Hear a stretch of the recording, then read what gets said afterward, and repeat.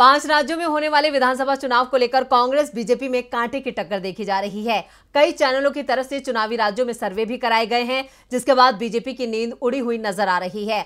दरअसल ज़्यादातर राज्यों में कांग्रेस की सरकार बनती दिख रही है और शायद ये हार का डर ही कहलाएगा कि बीजेपी ने चुनावी राज्य के बदले किसी दूसरे राज्य में बड़ा बदलाव करने की तैयारी की है। देखते हैं ये रिपोर्ट। ओबीसी आरक्षण का मामला हो या जातिगत जनगणना का, रोज़गार का मुद्दा हो या फिर महँगाई का, देश की आर्थिक सेहत हो या आम जनता की सेहत, हर मोर्चे पर मोदी सरकार विफल साबित हो रही है।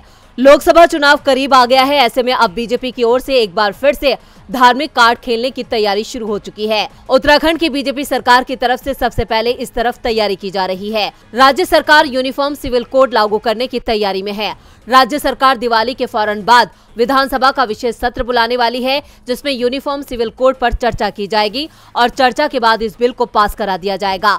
उत्तराखंड में डबल इंजन वाली बीजेपी की सरकार है और विपक्ष को डर है कि विधानसभा से बिल पास होने के कुछ ही दिनों में राज्यपाल की इस पर मोहर लग जाएगी, क्योंकि जहाँ सिंगल इंजन की सरकार होती है, बिल वहीं लटकते हैं और मामला सुप्रीम कोर्ट तक पहुँच जाता है। यानी यूसीसी के कानून बनने में ज़्यादा वक्त नहीं लगेगा। बीजेपी की असम और यूपी सरकार भी यूसीसी को लेकर आगे बढ़ने की तैयारी में है। साफ़ है कि बीजेपी अब चुनावी एजेंडा सेट करने की कोशिश में जुट गई है, क्योंकि चार महीने बाद ही देश में लोकसभा चुनावों का ऐलान हो जाएगा। दरअसल बीजेपी को सबसे ज़्यादा डर विपक्ष के ओबीसी एजेंडे से लग रहा है। राहुल गांधी जिस तरह से ओबीसी के अधिकारों की बात कर रहे हैं, उससे बीजेपी के हाथ से ये बड़ा वोट बैंक फिसलता दिखाई दे रहा है। देश में करीब आधी आबादी ओबीसी समुदाय की है और ओबीसी कार्ड की काट के लिए बीजेपी यूसीसी का सहारा लेती दिखाई दे रही है। लेकिन इंडिया गठबंधन की ओर से पहले ही साफ़ कर दिया गया है कि चुनाव के मुद्दे बीजेपी नहीं विपक्षी दल सेट करेंगे।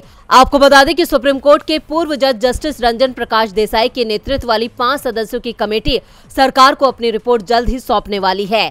डीबी लाइव की रिपोर्ट।